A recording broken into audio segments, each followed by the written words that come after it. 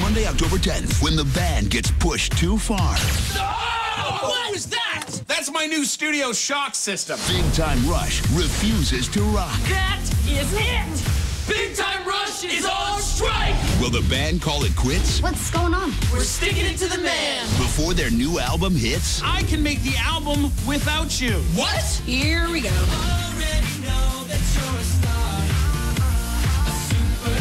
Find out in a brand new Big Time Rush. Columbus Day, Monday, October 10th at 8. Have you been holding that sign the whole time?